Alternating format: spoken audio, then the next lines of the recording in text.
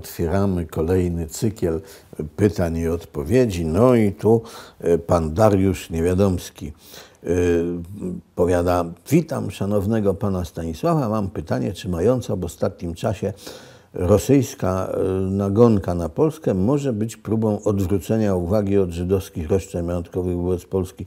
Pozdrawiam i życzę powodzenia. No nic podobnego, ona tylko wzmacnia taką polityczną podstawę tych roszczeń, bo e, na czym polegały te, jak to pan nazywa, na, polegała ta nagonka na Polskę? Na tym, że prezydent Putin przyłączył politykę historyczną rosyjską do skoordynowanych polityk historycznych żydowskiej i niemieckiej.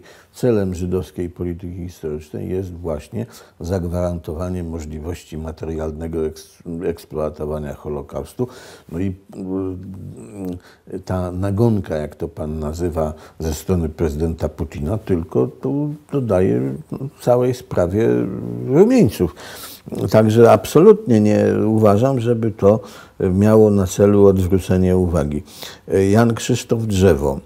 Szanowny panie Stanisławie, czy nie wydaje się panu, że Polska nigdy nie miała y, tak wielu silnych wrogów? Brakuje tylko Chin, do, aby dołączyły do tej wendetty i w obliczu tak rozpaczliwej sytuacji nie będzie prościej rozłożyć tego haraczu na raty i rozpoczęcie programu odbudowy Polski w postaci złapania za gębę i pogonieniu do roboty zbędnych urzędników i nierobów.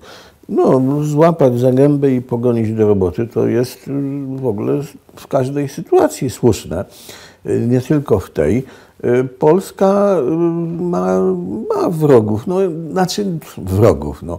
Każde państwo chce się wzmocnić kosztem innego.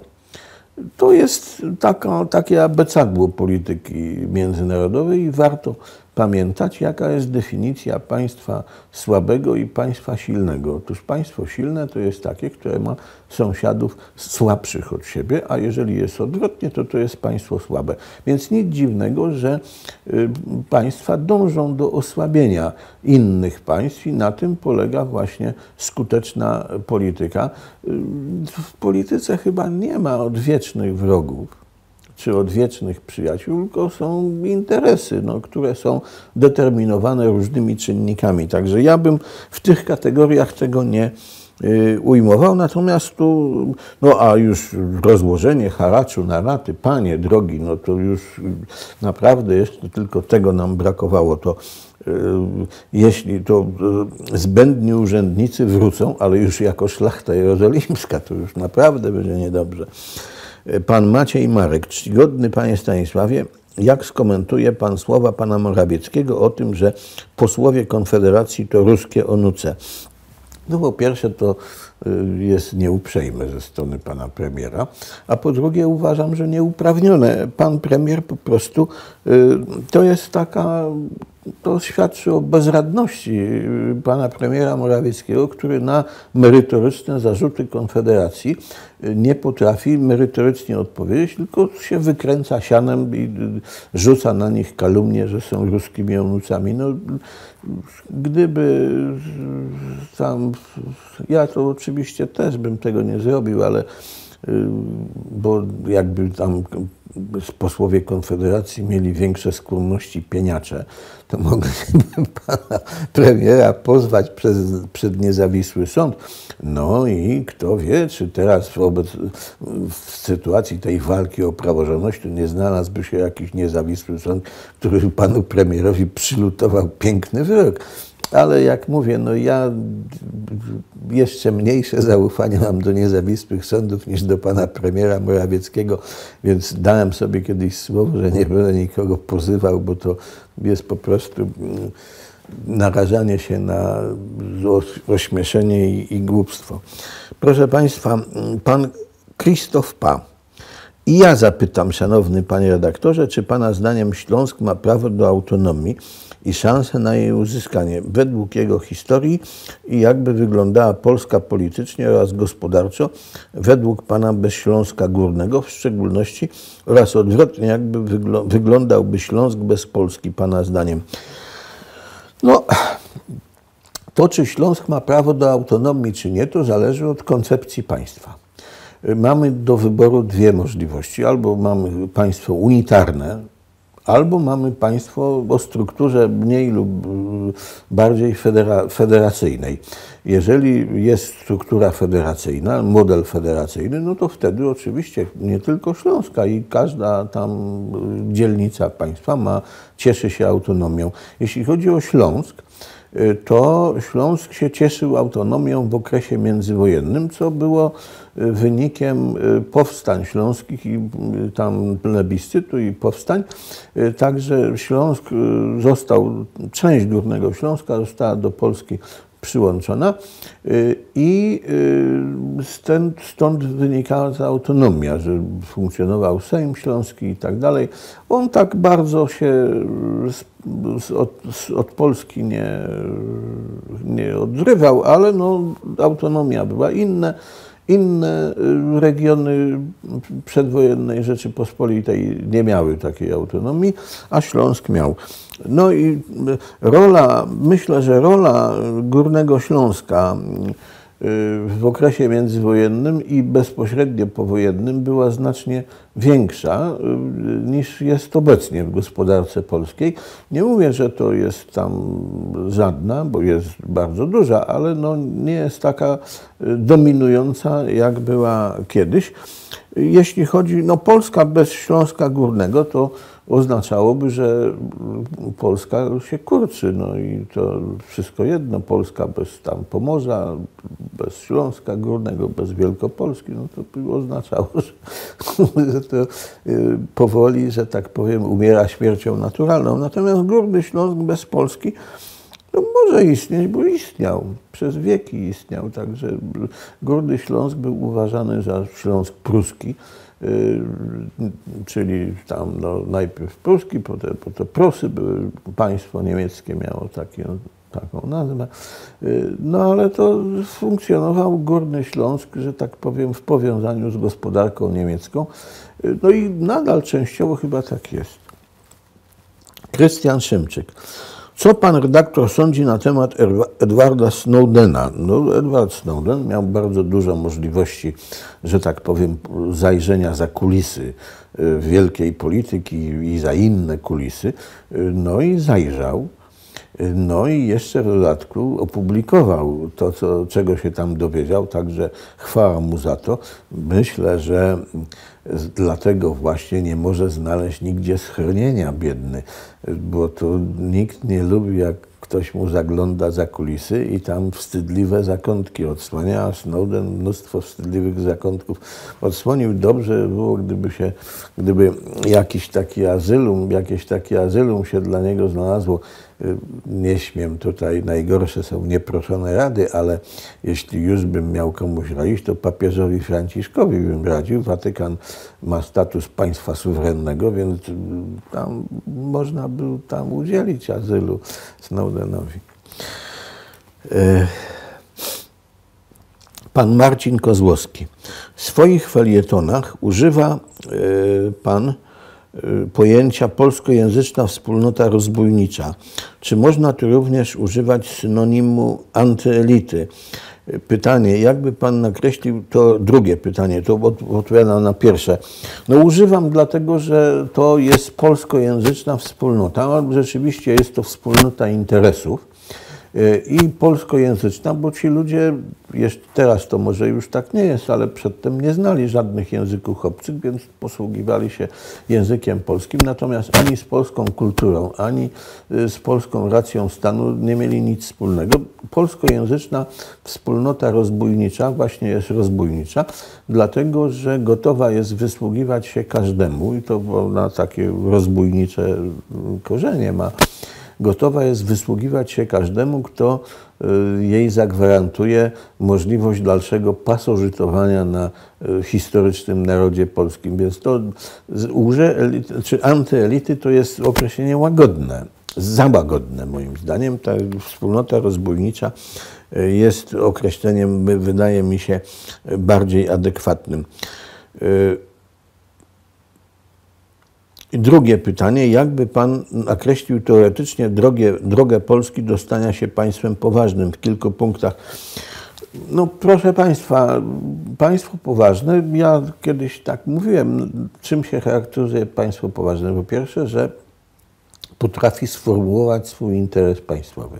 Po drugie, jak już go sformułuje, to potrafi, musi, znaczy realizuje go bez względu na okoliczności zewnętrzne i wewnętrzne. A po trzecie, państwo poważne ma środki, które może użyć do których może użyć do realizowania swoich interesów państwowych. W Polsce trzeba by zrealizować wszystkie te trzy punkty. Wszystkie również ten pierwszy i również ten trzeci, bo Polska niestety należy do państw pozostałych, to znaczy nawet jakby potrafiła sformułować swój interes państwowy, y, no to bardzo szybko o tym zapomina i tak się zatacza od ściany do ściany, w zależności od tego, kto ją w którą stronę popchnie. No to jest bardzo niedobrze. Y, pan Sylwester Matuszak jeszcze jedno pytanie, jeśli, jeśli się prześliźnie. Co by Pan polecił, żeby nie musieć przegryzać się przez archiwum Ringelbluma, a liznąć coś więcej? No szczerze mówiąc nie bardzo wiem, o co Panu chodzi. No, archiwum Ringelbluma jest y, y, tylko jedną z publikacji, która y, przedstawia tutaj przedstawia tutaj y, życie getta warszawskiego i w ogóle społeczności żydowskiej w czasie okupacji niemieckiej. Ale to nie jest źródło jedyne, no jest mnóstwo takich źródeł. Nie, nie mówię, że archiwum Ringelbluma, Ringelbluma jest bezwartościowe. Wartościowe jest jak najbardziej, bardzo ciekawe. No, ale nie jest to publikacja jedyna. Jest bogata literatura na ten temat. Także można mm, przejrzeć to w bibliotekach, czy nawet w internecie i, i tam liznąć czegoś więcej. Pan y, Tomasz Mikutel. Szanowny Panie Stanisławie, czy uważa Pan, że katolik powinien zło zwalczać jedynie dobrem? Czy może istnieją uzasadnione w przypadkach, w których można od tej zasady zrobić wyjątek? Wie Pan, y, ja rozumiem y, zwalczanie zła dobrem w taki, w taki sposób, że że trzeba by się powstrzymać przed eskalowaniem zła, to znaczy jed, przed jednym, przed taką y, mechaniczną zemstą. Natomiast nie wydaje mi się, żeby y, katolik był jakoś moralnie zobowiązany, no powiedzmy sobie szczerze, nadstawiania drugiego policzka. No, wyobraźmy sobie, że jakiś jegomość zgwałci panu jedną córkę. To co, powinien mu pan podstawić drugą córkę jako drugi policzek? No, nie, no, myślę, że również w pobo pobożność powinna być miarkowana rozsądkiem. Akurat religia chrześcijańska jest tam wiele rozsądku, zawiera, w związku z tym trzeba się odwołać do tego, co tam na ten temat ojcowie Kościoła, doktorowie Kościoła pisali i wtedy nie będziemy mieli takich wątpliwości. Proszę Państwa, pan Waldemar Ciekawski. Czy oprócz wypijmy za wspaniałe powodzenie naszej beznadziejnej sprawy, mógłby pan zdradzić jeszcze jakieś ciekawostki w relacjach ze Stefanem Kisielewskim? No ja nie miałem takich bardzo ścisłych y, towarzyskich relacji ze Stefanem Kisielewskim. Wzbudzał we mnie raczej respekt. Więc ze Stefanem Kisielewskim to takie ściślejsze towarzyskie relacje, y, to z całą pewnością w latach 50. miał Leopold Tyrmand, a w latach późniejszych to y, no, między innymi Janusz Korwin-Mikke. Ja znałem Stefana Kisielewskiego, no bardzo jestem z tego dumny, ale nie mógłbym się pochwalić, że tu jakieś takie kontakty towarzyskie zażyłe były, uchowaj Boże, nie. Nie było, także niestety nie mogę pana tutaj, nie mogę pańskiej ciekawości zaspokoić. Pan Damian Ciuraj. Szanowny panie redaktorze, czy według pana prawdziwe jest stwierdzenie, że cel uświęca środki? Życzę dużo zdrowia i pozdrawiam. No nie jest prawdziwe. Nie jest prawdziwe, dlatego że jeżeli zaczynamy się posługiwać środkami niegodziwymi, no to cel nam znika z pola widzenia.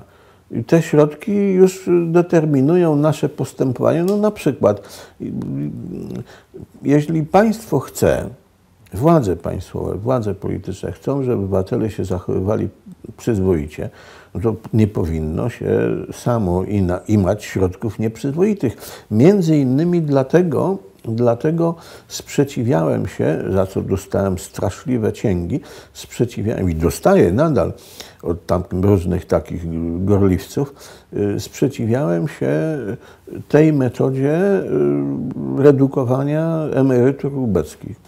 I uważam, że to są środki niegodziwe, że po ubekach, ubecy jakby doszli do władzy, a to jest przecież możliwe, lewica dostała sam 12% głosów, także ho, ho, wszystko przed nami, no to mogliby taką samą operację wykonać wobec swoich przeciwników i wtedy to właśnie takie są skutki e, środków niegodziwych. To Rzymianie mówili, tutaj nawiązując do poprzedniego pytania, Y, Rzymianie mówili vim vire pellere licet. Siłę należy się, należy, godzi się siłą odeprzeć, a jeśli chodzi o państwo, to ta zasada jest moim zdaniem niesłuszna i prowadzi do, mm, znaczy w tym sensie nieprawdziwa, że niesłuszna y, i prowadzi do bardzo niekorzystnych następstw, zwłaszcza na dłuższą metę. Mm. Pan Łukasz Szowul. Ideologia zawsze wypiera religię. I tak y, jest także w przypadku PiS. Czy nie uważa Pan, że tworzy się nowa Trójca Święta, Bóg Ojciec, państwo, które stworzyło człowieka i bez którego zdaniem Jarosława Kaczyńskiego nie byłoby wolności Syn Boży Lech Kaczyński, który zginął w Smoleńsku za zbawienie Polski oraz Jarosław Kaczyński, który jest tym Duchem Świętym. No widzę, że Pana fantazja teologiczna ponosi. Nie, ja tak nie uważam. W ogóle religia nie, nie nie ma pan racji. Uważam, uważam, że nie ma pan racji, sądząc, że ideologia zawsze wypiera religię. Nie. E, religia pełni czasami funkcje ideologiczne. Na przykład w średniowieczu religia chrześcijańska bardzo sprawnie pełniła funkcje ideologiczne, e, to znaczy uzasadniała pewien porządek polityczny. Podobnie jak dzisiaj takie funkcje ideologiczne e, pełni islam pełni islam, doskonale, nie przestając być religią, więc to i chrześcijaństwo nie przestało być religią w średniowieczu i islam obecnie nie przestając być religią, bardzo dobrze pełni funkcje ideologiczne. Także nie jest to jakaś y, dychotomia, że albo religia, albo ideologia. Ideologia w ogóle to jest metoda, tak najprościej powiedziawszy. Ja wielokrotnie powtarzam taki przykład, że gdybyśmy złapali wszystkich naszych umiłowanych przywódców i zagrozili im, że tam zlejemy ich batogami, dopóki nam nie odpowiedzą na jedno pytanie, czy chcą, żeby w Polsce był dobrobyt. No to wszyscy odpowiedzą twierdząco, prawda? Nawet jak ktoś nie chce, to ze strachu by się nie przyznał czyli wszyscy chcą tego samego. No to o co się tak spierają, że mało się nie pozagryzają? Ano, tu różne rzeczy się spierają, natomiast jest zasadniczy spór ideologiczny. Jaką metodą ten dobrobyt budować? Na przykład, czy wprowadzić stuprocentową własność państwa, planowanie gospodarcze i tak dalej, czy też upowszechnić własność prywatną, ograniczyć rolę państwa w gospodarce i tak dalej, i tak dalej. Także to są, to są właśnie te metody, to są właśnie ideologie. I one z religią nie mają nic wspólnego. Powiadam, ideologia, znaczy religie mogą czasami pełnić i pełniły funkcje ideologiczne, ale istnieją ideologie bezreligijne, znaczy większość ich to jest bezreligijna, chociaż czasami niektóre mają tam, czerpią jakieś uzasadnienie y, z przekonań religijnych.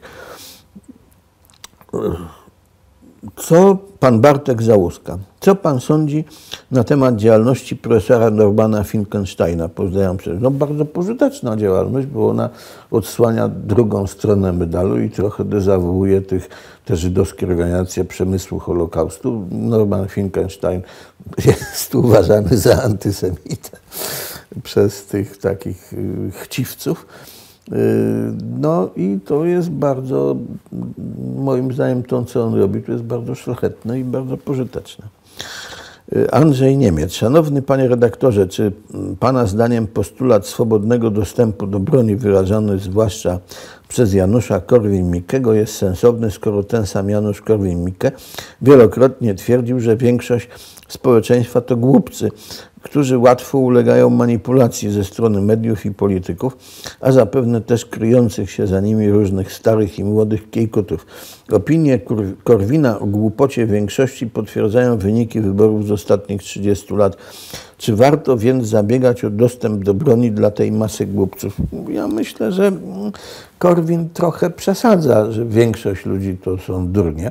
Y, większość ludzi po prostu y, może nie, nie, jest, nie są to głupcy, tylko są właśnie podatni na manipulacje. To nie jest to samo. Ale to nie znaczy, że y, nie powinno być dostępu do broni, bo wie pan, jest jedna rzecz, niezależnie od tego, czy ludzie są mądrzejsi czy, czy głupsi, to jest pewna zasada, która we wszystkich państwach y, jest na piedestał wyniesiona, y, to znaczy prawo do obrony koniecznej. Jeżeli uznajemy prawo do obrony koniecznej, no to nie możemy pozbawiać obywatela narzędzi, y, które tę obronę czynią skuteczną, bo to nie chodzi o to, żeby była deklaratywna tam gwarancja papierowa, tylko żeby obywatel rzeczywiście mógł y, sobie tę obronę konieczną zrealizować. I ja bym się tak nie obawiał, wie pan, y, żeby tutaj jakieś katastrofalne następstwa. Przypomnę taką mm, sytuację, kiedy jeszcze były praktykowane pojedynki. No to wtedy ludzie byli, no nie, nie we wszystkich środowiskach oczywiście, ale w takich środowiskach, które tam uważały się za uprzywilejowane, y, to były praktykowane pojedynki. I ludzie z tych środowisk byli wobec siebie bardzo uprzejmi dlatego że nigdy nie było wiadomo, czym się taka nieuprzejmość może skończyć. Otóż gdyby był powszechny dostęp do broni, to myślę, że y, ludzie by też zachowywali się uprzejmie na wszelki wypadek, dlatego że, jak to zauważył laureat Nagrody Nobla z ekonomii, z 1992 roku Gary Stanley Becker, ludzie zachowują się tak, jakby kalkulowali. No a to by była kalkulacja. No, zamiast, że tak powiem, z ostentacyjną pogardą kogoś potraktować i stracić życie, to lepiej można tak nie traktować go tak z ostentacyjną pogardą, tylko raczej się zachowywać uprzejmie. Także wydaje mi się, natomiast z punktu widzenia jakiejś takiej, no, jeżeli obywatele zostają pozbawieni prawa do dostępu do broni, no to znaczy, że y, władze im nie ufają że władze im nie ufają, że to władze ich traktują jako durniów, jako trzodę użytkową, no to jeszcze tym bardziej jest to nieładne. Pan Marcin Chłopek.